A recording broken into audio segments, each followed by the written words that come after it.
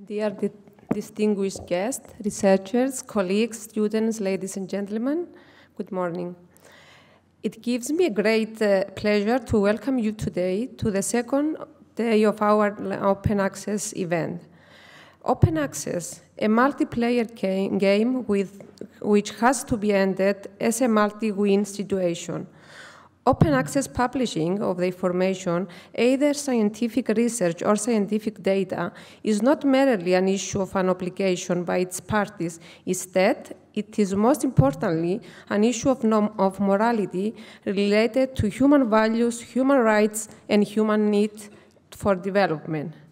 Without readily and low-cost access to the information and extend to a good educational system, the chances for the development of a society are seriously endangered and at least limited. We cannot keep producing knowledge, most of which stays within the walls of academia or remains a privilege only for certain categories of people. Research and knowledge has to be relevant to the real world and has to be easily available to the real world.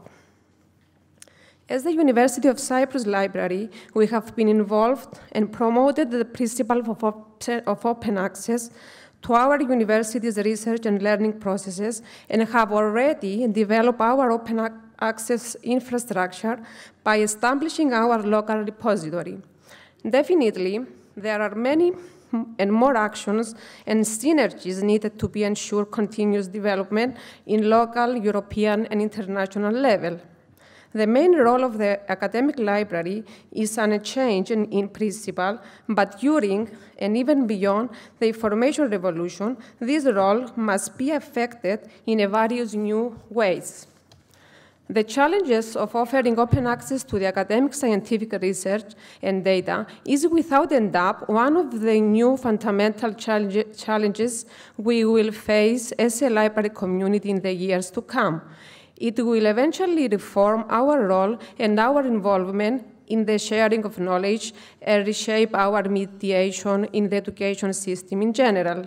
As one of the principal national organizations dealing with academic research, we are involved in different important open access European projects, such as OpenAIRE, PASTEUR, OpenAIRE 2020, FOSTER, aiming to educate and disseminate information for the value of the open access.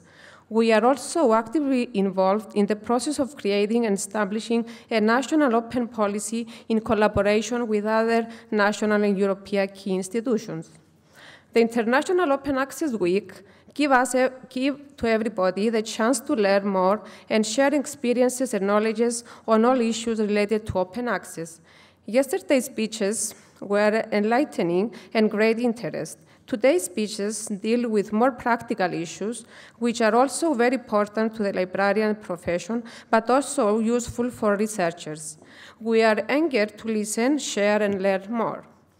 I would like to close express, by expressing my warm thanks to all of you for your presence here in this event. I'm sure that from your posts uh, at your institutions, you can positively contribute towards the development of effective open, open access policies and practices, and furthermore, towards creating an open access culture in our country.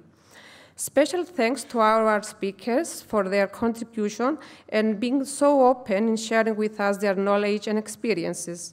Last but not least, special thanks to my colleagues for their efforts in organizing this event, and more specifically to Sylvia, who has coordinated everything successfully.